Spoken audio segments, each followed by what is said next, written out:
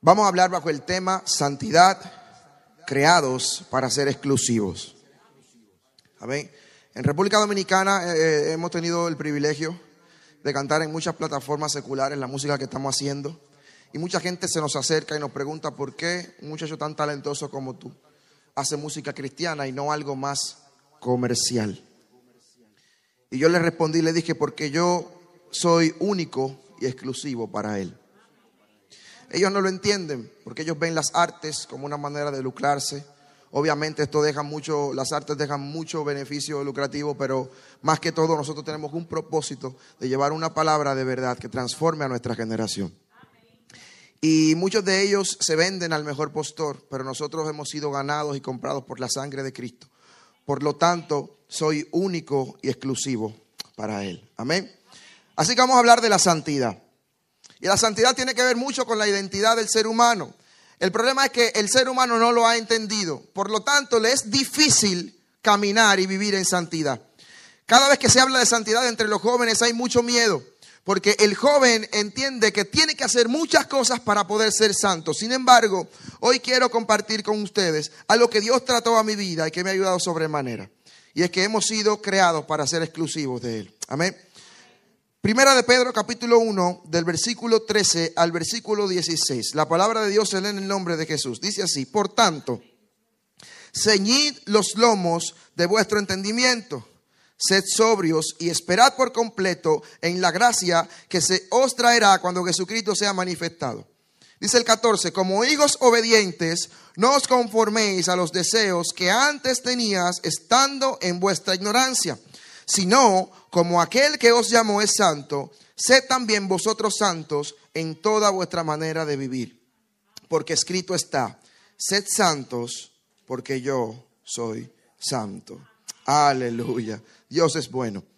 Lo primero es que la santidad eh, se caracteriza por dos cosas, la separación y la distinción.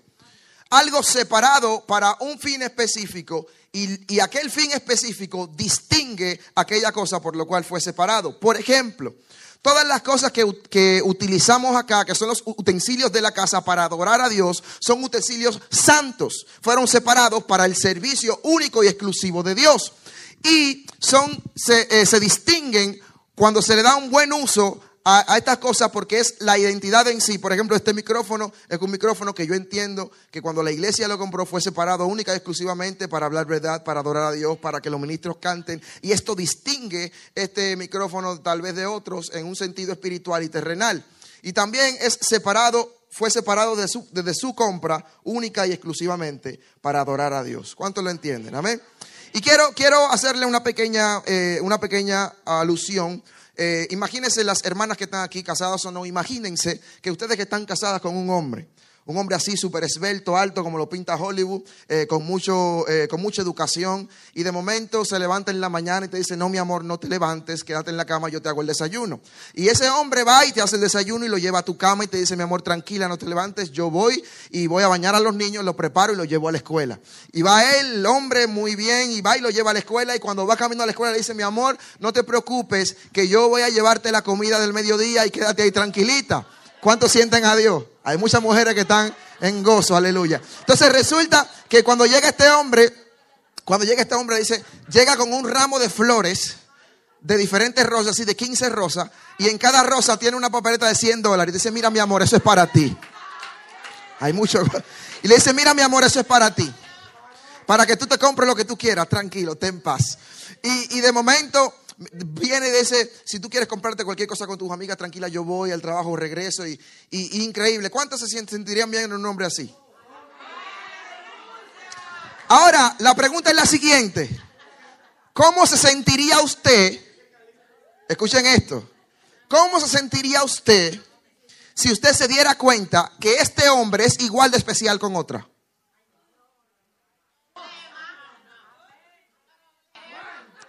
¿Cómo? Como que perdió el encanto, ¿verdad? Yo estoy seguro que usted se sentiría mucho mejor que aunque tal vez el hombre que usted tenga no le haga ninguna de estas cosas, pero que sea única y exclusivamente para usted. Lo mismo pasa con nosotros y Dios. La santidad en nuestra vida, y quiero que me presten atención, es evidenciada a través del alto nivel de exclusividad que nosotros tenemos como seres humanos, innato en nosotros. Un niño nace y le regalan algo y ese niño no lo quiere compartir con nadie, porque él dice que es suyo. Cuando el niño nace o cuando nosotros como seres humanos nacemos, nacemos con un sentido de exclusividad inherente en el hombre.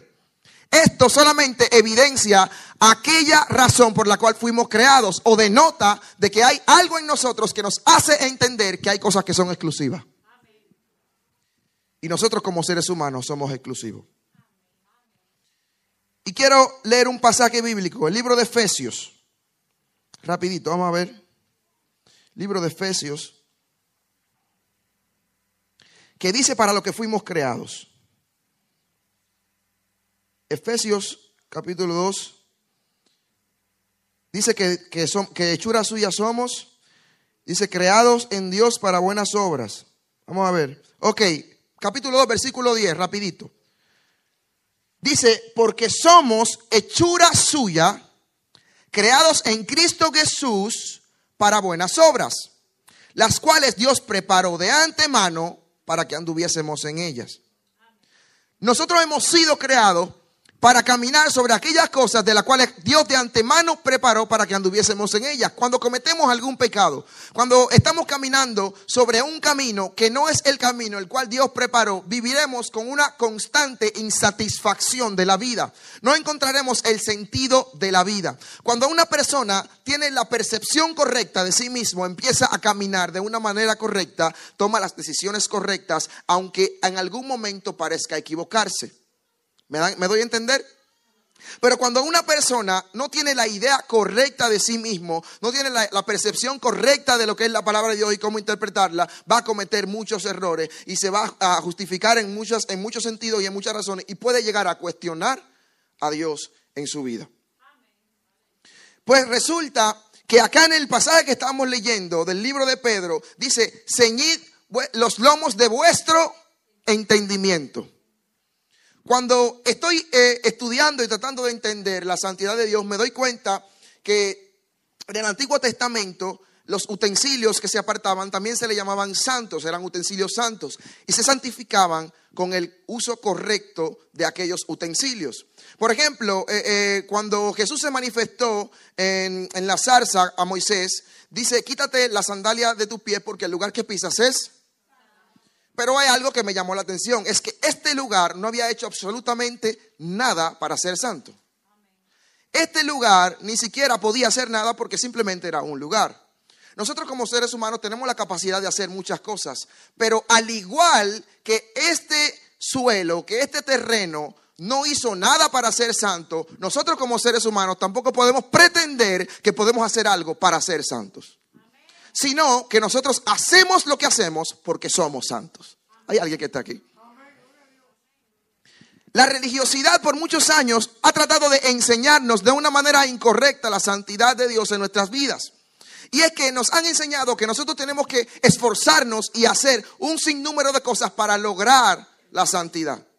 Sin embargo, lo que Dios me enseña a través de su palabra es que como ya somos santos, entonces tenemos que caminar como uno es. La palabra de Dios dice que nosotros somos real sacerdocio, nación santa y pueblo adquirido por Dios, eh, eh, traídos de las tinieblas a su luz admirable para anunciar las virtudes de aquel. Por lo tanto, cuando nosotros hacemos este, esta ecuación de manera al revés, pues no tenemos los resultados correctos. ¿Hay alguien que está aquí? Esto me quitó un peso de encima porque yo trataba de ser santo con la cosa que yo hacía. Por eso la palabra dice que no es por obra para que nadie.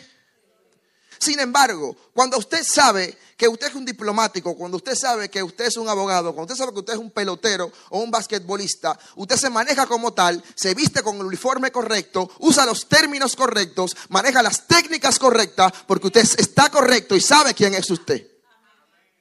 Usted no está manejando las técnicas para ser un abogado. Usted de momento estudia, esa es la única diferencia. Usted estudia ciertos tiempos en la universidad y usted se gradúa de abogado, pero cuando usted es abogado, entonces usted camina, se conduce, se maneja y trata los temas como tal. Lo mismo pasa con el pueblo de Dios. El problema es que hoy en día hemos perdido nuestra identidad y hemos tratado de hacer lo que el mundo dice que debemos hacer para hacer lo que Dios quiere. Hemos estado haciendo la ecuación al revés. Es como que si estamos buscando las añadiduras primero antes que el reino. Entonces, cuando estamos detrás de la añadidura pensando que estamos bien y no tenemos los resultados del reino, nos frustramos, nos sentimos mal, porque no entendemos cuál es nuestra identidad. Si un abogado tiene un cliente y lo va a defender en algún estrado, en alguna corte, tiene que manejar todos los términos, tiene que manejar todo, todas las leyes para poder defender a su cliente y poder salir victorioso. Lo mismo pasa con la vida cristiana. Si usted no sabe quién usted es, usted no va a poder caminar como, como, como usted como, usted es, con lo que usted es, sino que usted va a caminar como cualquiera le dice que usted debe caminar. Aleluya. Pero Dios ha venido para darnos identidad. Voy a decirles de cinco personajes en los cuales su santidad se manifestó a través de sus actitudes y les voy a explicar esto muy bien. El ejemplo de José. José era un hombre que tenía grandes dones. Era un hombre que tenía un don de administración increíble. Y era un hombre que podía interpretar los sueños que las demás personas tenían. Son dones que increíblemente e indudablemente son muy buenos y cualquiera de nosotros quisiéramos tener un don así y podemos pedirlo al Señor. Sin embargo, en el momento clímax de su historia, el momento en el que se definió donde él iba a ser rey o se iba a quedar como un simple administrador, fue en el momento en donde su santidad se manifestó. Cuando la mujer de Potifar le molestaba día tras día para que se acostase con él, sus dones y sus talentos no le sirvieron de nada.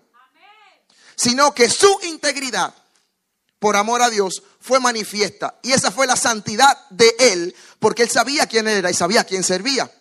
Su santidad fue manifiesta a través de la integridad y él no pecó y él prefirió rechazar a la mujer de Potifar para mantenerse leal delante de Dios. Otro ejemplo de una santidad manifestada es el ejemplo aquel de los tres amigos de Daniel, Sadrach, Mesach y Abednego. ¿Cuánto han escuchado hablar de ellos? Amén. Fueron tres jóvenes que decidieron ser echados en una hoguera antes de arrodillarse a una estatua para adorarla. Ellos sabían al Dios que les servían, ellos sabían quiénes eran, se habían cohibido de comer la comida que les daban a los demás, porque ellos entendían que honraban a Dios cuando comían de esa forma. Por lo tanto, cuando le dijeron que le iban a echar a la hoguera, si no adoraban a este Dios que habían levantado, esta estatua que habían levantado, ellos dijeron, Dios nos librará y si no nos libra, no nos importa, su nombre seguirá siendo glorificado, pero no nos arrodillaremos ante esa estatua. Por lo tanto, la santidad de Sadrach y Mesach y Abednego se reveló o fue evidenciada a través de la lealtad a Dios. Porque cuando sabes quién eres, entonces le eres leal a eso que ya tú sabes. Hay un refrán o una, palabra que aprendí hace un tiempo que dice, eh, la gente, las personas creerán en ti cuando tú creas en tu causa. Hay muchas personas en el mundo que no creen en nosotros como cristianos porque ni siquiera nosotros mismos creemos en nosotros. Porque ni siquiera nosotros mismos sabemos quiénes somos y para dónde vamos. Ni siquiera nosotros sabemos que todo lo que tenemos es simplemente por la gracia de Dios para manifestar su reino. Desde la empresa hasta el deporte, desde la iglesia, desde el trabajo, desde la familia, y todo fue creado, o mejor dicho, Dios lo proveyó a nosotros para que glorifiquemos su nombre en la sociedad. ¿Cuántos dicen amén? Otro ejemplo, muchas gracias. Otro ejemplo de una santidad evidenciada fue el ejemplo de Saqueo. Cuando Saqueo conoció a Jesús, él entendió que nada de lo que él tenía podía llegar a la altura de esa verdad que había conocido. Por lo tanto, la santidad de Saqueo fue evidenciada a través del despojo. Él se despojó de lo que tenía porque había encontrado algo mayor. Muchos de nosotros debemos despojarnos de muchas cosas que le están quitando el lugar a Dios que después de haber nosotros conocido una verdad tan grande, se nos hace difícil dejar ciertas cosas porque de momento no sabemos quiénes somos, porque de momento no sabemos que hemos venido de Él y para los propósitos de Él y por lo tanto nuestra balanza está dañada y como que no hace peso a la hora de que pensamos en esas cosas que tenemos que dejar o Jesús en nuestra vida. ¿Hay alguien que está aquí? Por lo tanto, la santidad de saqueo fue evidenciada al momento en el que tuvo un contacto directo con Dios. Muchos de nosotros no hemos tenido ese contacto directo con Dios. Lo que esto significa es que cuando el hombre tiene un encuentro con el Señor Jesucristo, entonces le es revelada la verdad y es capaz de dejar todas las cosas que obstaculicen esto. Saqueo dijo, si a alguien le, he hecho mal, le voy a dar, eh, no sé si fueron tres veces más, no, no recuerdo. Si alguien puede ayudarme, por favor, tres, cinco, seis, siete veces más, no sé, cuatro veces más. Amén. Eh, y dice que iba a dar lo que tenía a los pobres. Señores, Saqueo no era ladrón.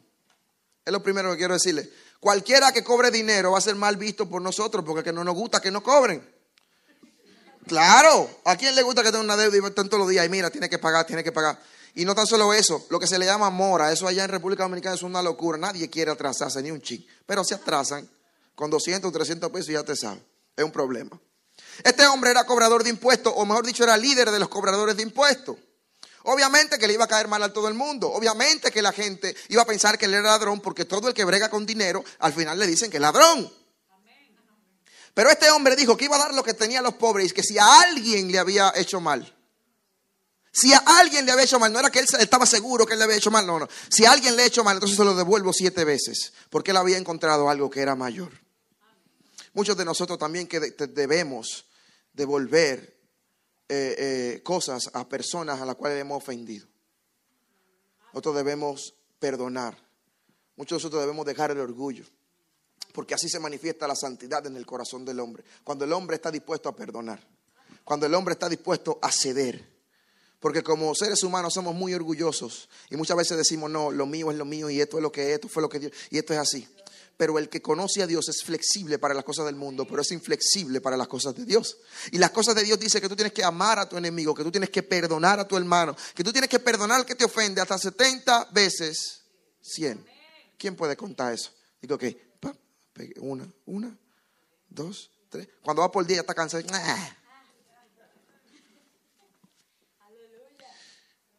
Cuando tenemos un contacto directo con el Señor, cuando tenemos un encuentro con Dios, esto lo digo para aquellos que son cristianos o que se llaman, se autodenominan cristianos, todo aquel que tiene un encuentro con el Señor empieza a recuperar su identidad.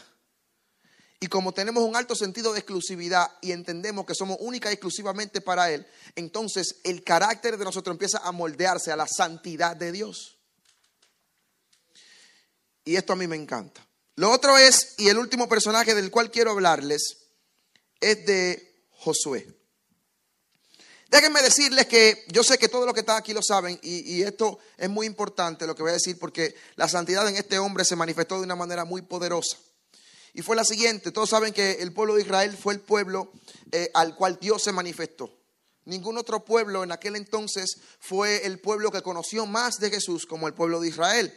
Dios se manifestó con nubes, se manifestó con fuego, se abrió el mar, eh, ellos vieron señales y milagros, ellos, ellos comían picapollo del cielo, ellos, ellos hacían muchas cosas, ellos vieron la mano de Dios. Sus ropas no se desgastaron. Eh, fue algo tremendo lo que pasó con ellos. Nadie sobre la faz de la tierra había, había visto eh, la manifestación de Dios como este pueblo. Sin embargo, llegó el momento en el que este pueblo fue tan incrédulo, fue tan rebelde, a pesar de haber conocido al Señor, que me hace pensar en las personas de hoy en día. Personas que han conocido al Señor, personas que han visto la provisión de Dios, personas que no han podido pagar deuda y Dios se las ha saldado, personas que han visto sanidades, personas que han visto milagros. Y aún así, con el tiempo, se ven incrédulos ante lo que Dios está haciendo, lo que Dios quiere hacer. Sin embargo, estamos viviendo eh, eh, en un tiempo muy difícil, estamos viviendo en un tiempo en una, donde hay guerras de argumentos muy fuertes, donde eh, la información se maneja de una manera muy, muy rápida, de una manera muy, muy veloz y cualquier, cualquier mala información la, la, podemos hacer nuestra y podemos entonces caminar con ella y vivir una vida errados. Y lo mismo pasó con este pueblo, este pueblo levantó ídolos, este pueblo eh, subió Moisés un ratico y ya cuando bajó tenían un becerro grandote de oro y adorando y haciéndole un número de cosas. Y ahí vino Moisés, se quilló, rompió la cosa y salmó un lío y eso fue un desorden. Se murió mucha gente. O sea, fue un pueblo muy duro. Pero este pueblo solamente evidenciaba la dureza y el carácter generado por el pecado en el hombre. Cuando el hombre pecó, el hombre no sabía exactamente lo que era el pecado, pero empezó a experimentar el carácter generado por el pecado empezaron a ser envidiosos, empezaron a tener miedo, empezaron a sentir inseguridad. Y todas estas cosas solo porque se desconectaron de Dios, porque perdieron su identidad con el tiempo, porque yo estoy seguro que Adán sabía lo que tenía que hacer en la tierra. Pero con el tiempo las generaciones se fueron deteriorando, se fueron alejando de Dios y perdieron su identidad. Y el pueblo se vio, se vio en medio de una degeneración tan fuerte que es muy posible que tal cual estemos viviendo hoy dentro y fuera del pueblo de Dios. Sin embargo, Josué se levanta, es capítulo, vamos a leerlo, vamos a leerlo. Josué capítulo 24, si no me equivoco. Vamos allá, vamos a ver. Josué, lo aquí. Capítulo 24, versículo 15. Vamos a ver. Um, ok. Oigan lo que dice Josué de un pueblo que había conocido a Dios como ningún otro. Un pueblo que había visto al Señor, que había visto la manifestación de Dios como ningún otro, dice el versículo 15 del capítulo 24 del libro de Josué, dice, si mal os parece servir a Jehová, escogeos hoy a quien servirás. Si a los dioses a quienes sirvieron vuestros padres, cuando estuvieron del otro lado del Jordán, o los dioses de los amorreos en cuya tierra habitáis pero yo y mi casa serviremos a Jehová. Este hombre sabía quién era. Este hombre sabía que independientemente de que el mundo entero negara la existencia de Dios, Dios no necesitaba nada de eso, sino que él necesitaba de Jesús y él tenía que seguir a Dios. Lo que quiero decir es que independientemente de que hoy en día el mundo entero niegue la existencia de Dios, yo sigo él seguirá siendo Dios. Él no necesita tus alabanzas, tú necesitas alabarlo a Él. Por lo tanto, cuando nosotros nos acercamos y estamos firmes en la roca, nada nos puede remover, ni la presión social, ni la presión, ni la presión económica, ni la presión emocional, porque tú estás cimentado sobre la roca. Y es el momento en el que muy posible, muchos de los que estemos en la iglesia seamos incrédulos. Incrédulos de lo que Dios está haciendo, incrédulos de lo que Dios quiere hacer, incrédulos de lo que ya Dios hizo. Porque estamos pensando que la evidencia del éxito cristiano es que las iglesias que estén llenas. Porque estamos viendo de que si la iglesia está un poco vacía, pues entonces el culto no se dio tan bueno.